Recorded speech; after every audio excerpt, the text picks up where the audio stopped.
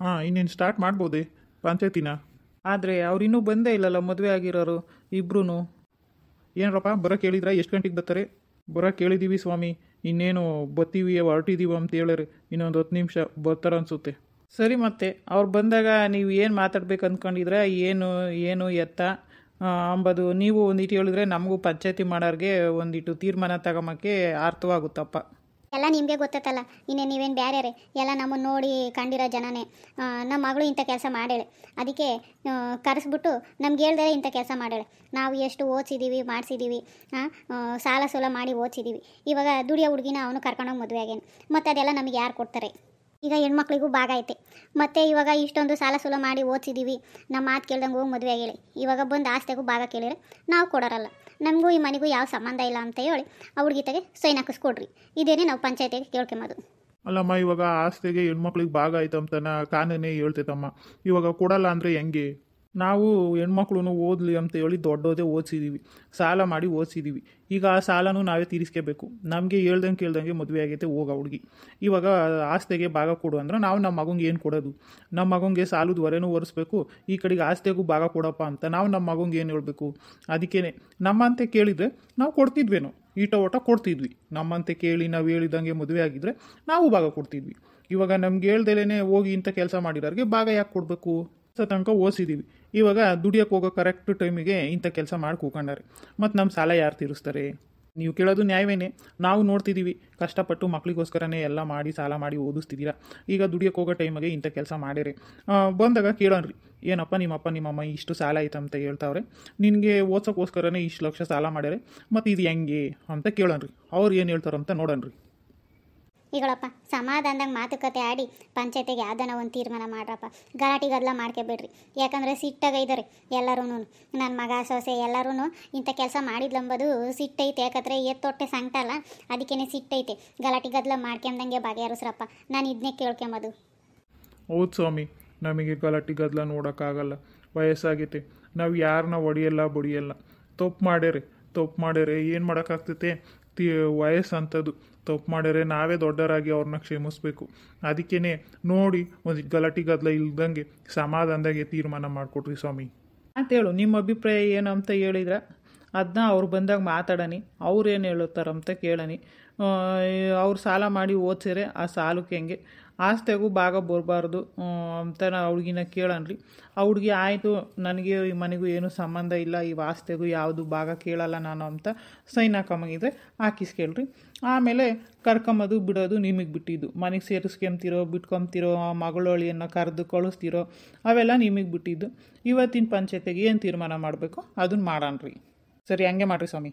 ಈಗ ನಮ್ಮ ಅಣ್ಣನ ಮಗಳಿಗೆ ಭಾಗ ಕೊಟ್ರೆ ನಾನೆಂತಳು ನಾನು ಈ ಮನೆಗೆ ಹುಟ್ಟಿ ಬೆಳೆದಿನಿ ತಾನೆ ನಾನೇನು ನಮ್ಮ ಅಣ್ಣನ ಭಾಗ ಕೇಳಿಸ್ಕೊಂಡು ಹೋಗಿಲ್ಲ. ಹಂಗಾದ್ರೆ ಅವರು ಕೇಳಿಸ್ಕೊಂಡು ಹೋಗ್ಕೊಡ್ದು. ಅವಳು ಕೇಳಿಸ್ಕೊಂಡು ಹೋದ್ರೆ ನಮ್ಮ ಅಣ್ಣ ನನಗೂ ಭಾಗ ಕೊಡಬೇಕಾಗ್ತೈತೆ.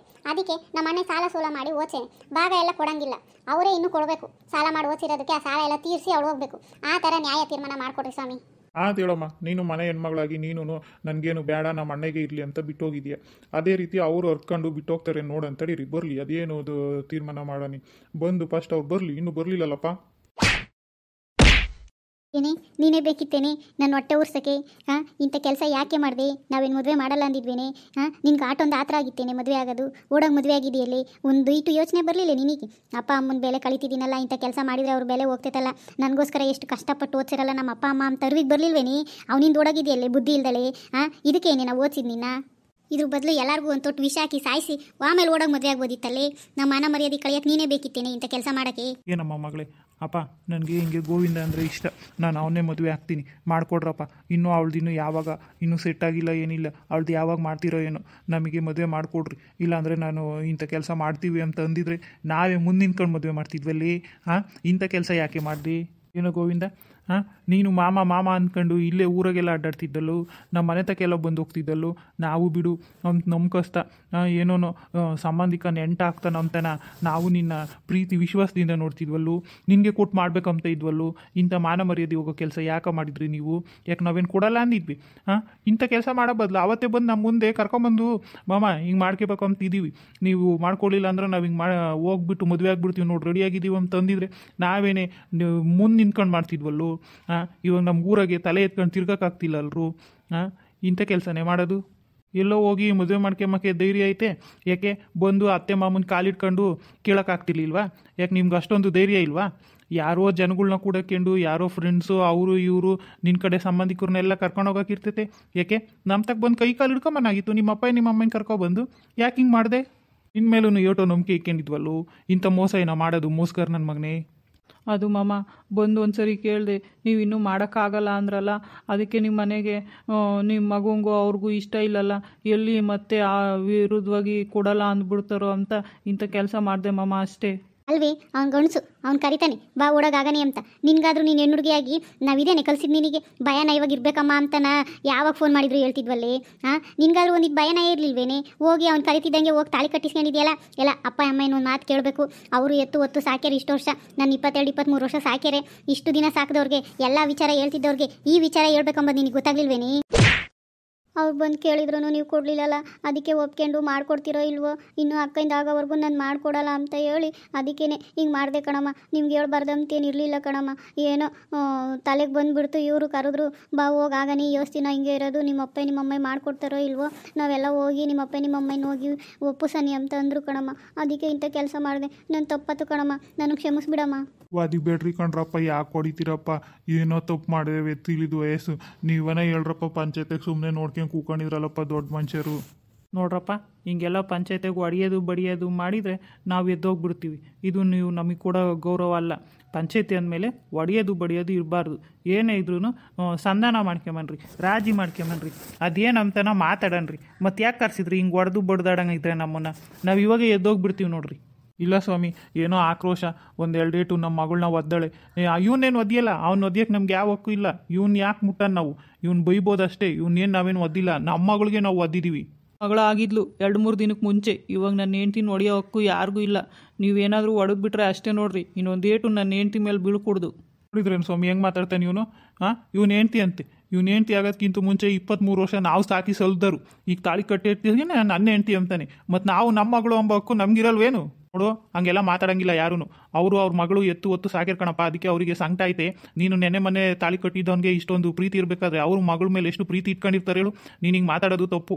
ಅವ್ರ ಮಗಳ ಮೇಲೆ ಎಷ್ಟು ಪ್ರೀತಿ ಇಟ್ಕೊಂಡಿದ್ರು, ಅದಕ್ಕೆ ಅವರಿಗೆ ಸಿಟ್ಟು ಬಂದೈತೆ. ಎರಡು ಡೇಟ್ ಅವಳನ್ನ ಬಿಟ್ಟಾರೆ. ನಿನ್ನೇನು ಅವ್ರೇನು ಅರ್ದಿಯಕ್ಕೂ ಬಡಿಯಕ್ಕೂ ಬಂದಿಲ್ಲ. ಬರ್ರಿ, ಹೋಗ್ರಿ. ನೀವು ನಿಮ್ಮ ಜಾಗದಾಗ ಕೂಕೊಳ್ರಿ ಇಲ್ಲಾಂದ್ರೆ ನಾವು ಎದ್ದೋಗ್ತೀವಿ ನೋಡ್ರಿ. ಪಂಚಾಯತಿ ಮಾಡಲ್ಲ. ಸರಿ ಸ್ವಾಮಿ, ಎದ್ದೋಗ್ಬೇಡ್ರಿ. ಇವನು ಒದ್ದು ಏನು ಬರ್ತೈತೆ? ಪಾಪ ಸುತ್ಕೊಂತೈತಿ ಇವನು ಒದ್ರೆ ನಡಿಯೇ ಕಾವ್ಯ ಕುಕ ಇನ್ನಿ ಯೋಟು ಅದಿತ್ಯ ಅವರೇ ಏನು ಯೋಚನೆ ಮಾಡಿಲ್ಲ ಅಂದಮೇಲೆ ಇವಾಗ ಹೊಡೆದು ಬಡ್ದು ಏನೇ ಯೋಚನೆ ಏನೇ ಬರ್ತೈತೆ ಓ ಕುತ್ಕ ಹೆಂಗನ ಮಾಡ್ಕೊಂಬ್ಲಿ?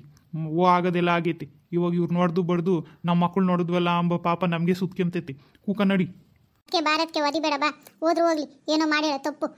ನಾವೇ ದೊಡ್ಡರಾಗಿ ಅವ್ರನ್ನ ಮನ್ನಿಸ್ಬೇಕು. ಬಾ ಕುತ್ಕ ಬಾತ ಹೋಗ್ಲಿ. ನಿಮ್ಮಪ್ಪ ನಿಮ್ಮಮ್ಮಯ್ಯ ಸಾಲ ಮಾಡಿ ನಿನ್ನ ಓದಿಸ್ಯಾರೆ ನಾವು ನೋಡಿದ್ವಿ ಕಣಮ್ಮ ಅಕ್ಕಪಕ್ಕದಾಗಿದ್ದು ಇವಾಗ ನೀನು ಕೆಲ್ಸಕ್ಕೆ ಹೋಗೋಕ್ಕೆ ಬಂದಿದ್ಯಾ? ಓದು, ಇನ್ನೂ ರಿಸಲ್ಟ್ ಬರೋದು ಇನ್ನೂ ಐತೆ. ಇವಾಗ ಯಾಕಮ್ಮ ಇಂಥ ಕೆಲಸ ಮಾಡಿದೆ?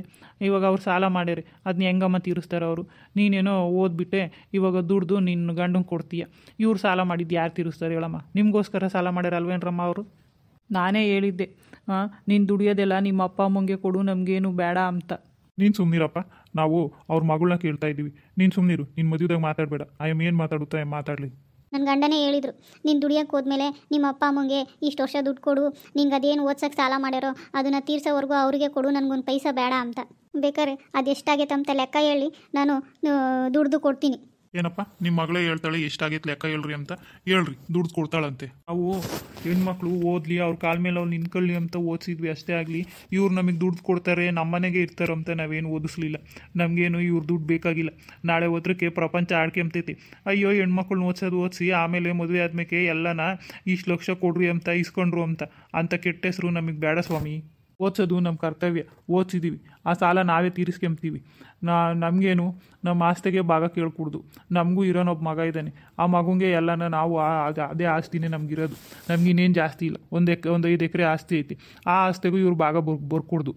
ಹಂಗೆ ಅಂತ ಹೇಳಿ ನಮಗೂ ಈ ಮನೆಗೂ ಯಾವ ಸಂಬಂಧ ಇಲ್ಲ. ಆಸ್ತಿಗೂ ಇದಕ್ಕೂ ಯಾವ ಭಾಗ ಇಲ್ಲ ಭಾಗ ಬೇಡ ನಮಗೆ ಅಂತ ಬರ್ಕೊಟ್ಟು ಹೋಗ್ಲಿ ನಮಗೆ ಯಾವ ಸಾಲ ತೀರಿಸ್ಕೊಂಬೋದು ಬೇಡ. ಕಷ್ಟನೋ, ನಷ್ಟನೋ. ನಮಗೂ ಒಬ್ಬ ಮಗ ಇದ್ದಾನೆ. ಮಗು ಇಟ್ಕೊಂಡು ಸಾಲ ತೀರಿಸ್ಕೊಂತೀವಿ. ಆಮೇಲೆ ಅಂಥ ಕೆಟ್ಟ ಹೆಸರು ಏನು ಬೇಡ. ಮಕ್ಕಳನ್ನ ಓದಿಸೋದು ನಮ್ಮ ಕರ್ತವ್ಯ ಮಾಡಿದ್ದೀವಿ ಅವ್ರು ನಮಗೆ ಯಾವ ಸಾಲ ಕೊಡೋದು ಬೇಡ, ದುಡ್ದು ಕೊಡೋದು ಬೇಡ, ಯಾವ ತೀರ್ಸೋದು ಬೇಡ. ನಮ್ಮ ಆಸ್ತೆಗೆ ಭಾಗ ಕೇಳೋಕೆ ಬರ್ಕೊಡ್ದು ಅಷ್ಟೇ. ಹಂಗ್ಯಾಕಂತೀಯ ಬಾವ? ಇಸ್ಕ, ಅವಳೆ ಕೊಡ್ತೀನಿ ಅದೆಷ್ಟು ಸಾಲ ಹೇಳ್ರಿ ಅಂತಾರಲ್ಲ. ಏಳು, ಹೇಳಿ ಇಸ್ಕ, ದುಡಿಸ್ಕ್ಯಾ? ಓದ್ಸಿಲ್ವೇ ನೀವು ಕಷ್ಟಪಟ್ಟು? ಹಣ ಬೇಡ ಸುಮ್ಕಿರು, ಓದ್ಸೋದು ನಮ್ಮ ಕರ್ತವ್ಯ. ಆಮೇಲೆ ನಾಳೆ ಹೊತ್ತಿಗೆ ಇದೇ ಜನ ಅನ್ಕೊಂತಾರೆ, ಅಯ್ಯೋ, ಓದ್ಸೋ ತನಕ ಓದ್ಸಿದ್ರು, ಆಮೇಲೆ ದುಡಿಸ್ಕೊಂಡ್ರು, ಗಂಡನ ಮನೆಗೆ ಹೋದ್ರು ದುಡಿಸ್ಕೊಂಡು ತಿಂದ್ರು ಅಂತ. ಬೇಡ, ನಾವು ಕೂಲಿ ನಾಳೆ ಆದರೂ ಮಾಡ್ಕೊಂಡು ತಿಂತೀವಿ. ಇವಳು ದುಡ್ಡು ನಮಗೆ ಬೇಡ. ನಮಗೇನು ದುಡ್ಕೊಂಡು ತಿನ್ಬೇಕು ಒಂದು ಐದು ಎಕರೆ ಜಮೀನು ಐತೆ, ಅದ್ರಾಗೂ ಬಂದು ಅದನ್ನ ಕಿತ್ಕೊಂಡು ತಿನ್ಬಾರ್ದು ಅವಳು ಇದು ನಂದು, ಇದ್ರಾಗ ನನಗೂ ಪಾಲೈತಂತ ಅದಕ್ಕೂ ನನಗೂ ಈ ನಾವು ಬಿಟ್ಕೊಂಬಲ್ಲ ಇವಳು ನಮ್ಗೆ ಇಂಥ ಕೆಲಸ ಮಾಡಿರೋಳು ನಮ್ಮ ಮನೆಗೆ ಬರೋದು ಬೇಡ. ಹಾಂ ಅದಕ್ಕೆ ಸೈನಾಕ್ ಹೋಗ್ಲಿ. ನನಗೂ ಈ ಮನೆಗೂ ಯಾವ ಸಂಬಂಧ ಇಲ್ಲ, ಈ ವಾಸ್ತೆಗೆ ಭಾಗಕ್ಕೆ ಯಾವ ಇದು ಇಲ್ಲ ನನಗೆ. ನಾನು ಕೇಳಲ್ಲ, ಅಂತೇಳಿ ಅವಳೇನೆ ಸೈನಾಕ್ ಹೋಗ್ಲಿ. ನಮ್ಗೆ ಅಷ್ಟೇ ಸಾಕು. ಅವಳಿಗೆ ಯಾವ ಸಾಲ ತೀರ್ಸೋದು ಬೇಡ ನಮಗೆ. ಕಣೆ, ಇಂಥ ಕೆಲಸ ಮಾಡಿದೆಯಲ್ಲೇ ಆಕೆನೆ, ಸೈನಾ? ಸರಿ, ನನಗೆ ಯಾವ ಭಾಗದಾಗ ಆಸ್ತಿ ಬೇಡ. ನನಗೆ ಈ ಈ ಮನೆಗೆ ಒಂದು ಸಣ್ಣ ತುಣುಕು ಕೂಡ ಈ ಮನೆಗೆ ಬೇಡ. ನಾನು ಇಷ್ಟಪಟ್ಟ ನನಗೆ ಸಿಕ್ಕೇರಿ. ನನಗೆ ಅಷ್ಟೇ ಸಾಕು. ಅವ್ರ ಜೊತೆಗೆ ನೆಮ್ಮದಿಗೆ ನೆಮ್ಮದಿಗೆ ಬದುಕ್ತೀನಿ. ಈ ಮನೆಗೆ ನನಗೆ ಒಂದು ನಯ ಪೈಸದ ಭಾಗನೂ ಬೇಡ. ಹಂಗಂತ ಹೇಳಿ ನಾನು ಬರ್ಕೊಡ್ತೀನಿ. ಸರಿ ಹಂಗಾದ್ರೆ, ಇನ್ನೇನು ನಿಮ್ಮ ಮಗಳೇ ಹೇಳೈತಲ್ಲ, ಬರ್ಕೊಡ್ತೀವಿ ಅಂತ. ಈ ಪಟು ಬಿಡ್ಕೊಂಬದು ಅದು ನಿಮಗೆ ಸೇರಿದ್ದು. ಬರೀ ಸೈನಕ್ಕದು ಅಷ್ಟೇ ಅಲ್ಲ ನನಗೂ ನಿನಗೂ ಯಾವ ಸಂಬಂಧ ಇಲ್ಲ ನಮ್ಮ ಅಪ್ಪನ ನಮ್ಮ ನಮ್ಮ ಅಪ್ಪ ನಮ್ಮ ಅಮ್ಮಗೂ ನನಗೂ ಯಾವ ಸಂಬಂಧ ಇಲ್ಲ ಅಂತಲೂ ಬರ್ಕೊಡ್ಬೇಕು. ಹೆಂಗೆ ಬರ್ಕೊಡ್ತಾರೆ ಮಾಮ? ನೀವು ಅವ್ರ ಎತ್ತು ಮಗಳಲ್ವೇನು? ಏನೋ ಒಂದು ತಪ್ಪು ಮಾಡಿದ್ದೆಷ್ಟಕ್ಕೇನೆ ಸಂಬಂಧಗಳು ಮುರಿದೋಗ್ತವೇನು ಮಾಮ? ನಿನ್ ಬಾಯಿ ಮುಚ್ಚಿಗೆ ನಿಂತ್ಕೊಳ್ಳಪ್ಪ ಸಾಕು. ಅಂತ ಸಂಬಂಧ ಉಳಿಸ್ಕೊಂಬನಾಗಿದ್ರೆ ಬಂದು ಕಾಲು ಕೈ ಇಟ್ಕೊಂಡು ಏನು ಕೇಳಬೇಕಿತ್ತು? ನೀನ್ಯಾಕಿಂತ ಕೆಲಸ ಮಾಡ್ತಿದ್ದೆ? ರಮ್ಮ ಕಾವ್ಯ ಏನೋ ಸಣ್ಣ ಹುಡುಗರು ತಿಳಿದೆ ತಪ್ಪು ಮಾಡೇವೆ ಬಿಟ್ಕೊಳ್ರಮ್ಮ.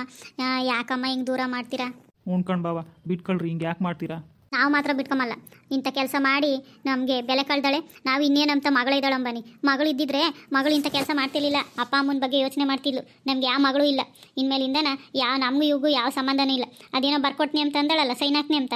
ಬರಿಸ್ಕೇಳ್ರಿ ಬರಿಸ್ಕೊಂಡು ಸೈನಾಕಿಸ್ಕೇಳ್ರಿ ಆಯಿತು. ನನಗೆ ಆಸ್ತೆಗೆ ಭಾಗ ಇಲ್ಲ ಅಂತ ಸೈನ್ ಹಾಕ್ತೀನಿ. ಆದರೆ ನನಗೂ ಅಪ್ಪ ಅಮ್ಮಂಗೂ ಯಾವ ಸಂಬಂಧ ಇಲ್ಲ ಅಂತ ಮಾತ್ರ ಹಾಕಲ್ಲ. ಸರಿ ಅಮ್ಮ ಹಂಗೆ ಮಾಡು. ಈ ವಾಸ್ತೆಗೆ ಭಾಗ ಯಾ ನಾನು ತಗೊಂಬಲ್ಲ ಅಂತ ಸೈನಾ ಕೊಡು ಸುಮ್ಮನಾಗ್ತಾರೆ ಒಂದು ಸ್ವಲ್ಪ ದಿನ ಸು ಸುಧಾರಿಸ್ಕೇಳ್ರಿ. ಆಮೇಲೆಲ್ಲ ಸರಿ ಹೋಗ್ತೈತೆ ಸರಿ ಆಯಿತು. ನಾವಿನ್ನು ಬರ್ತೀವಿ. ಹೋಗ್ರಿ ಏನನ್ನ ನಮ್ಮ ಮನೆ ಹೊಸ್ಲು ತುಳ್ದಿರಾ ನೋಡ್ರಪ್ಪ ನಿಮ್ಮ ಮಗಳು ಸೈನಾ ಕೇಳಿದ್ರಾಗೆ ಆಯಿತು ಈ ಪಟ್ಟು ಕರೆಯೋದು ಕಳ್ಸೋದು ನಿಮಗೆ ಬಿಟ್ಟಿದ್ದು ಅವೆಲ್ಲನ ಎಲ್ಲ ಇವಾಗ ಹಂಗೆ ಮಾತಾಡ್ತಾರೆ. ಆಮೇಲೆಲ್ಲ ಒಂದಾಗ್ತಾರೆ. ಆಯ್ತಮ್ಮ ನೀವು ಹಂಗೆ ತಪ್ಪು ಮಾಡಿದ್ರೆ ಅಪ್ಪ ಅಮ್ಮಂತಕ್ಕೆ ತಕ್ಕ ಅವಾಗ ಅವಾಗ ಬಂದು ಕ್ಷಮೆ ಕೇಳ್ತೀರಿ ಅವಾಗಾದರೂ ಮನಸ್ಸು ಕರಗುತ್ತೆ. ಹ್ಞೂ ಆಯ್ತು ನಡೀರಿ, ಇನ್ನೇನು ಪಂಚಾಯತಿ ಮುಗೀತಲ್ಲ, ಎಲ್ಲ ನಿಮ್ಮಂತೆ ಆತಲ್ಲ ಇಪ್ಪಟ್ಟು ನಡೀರಿ.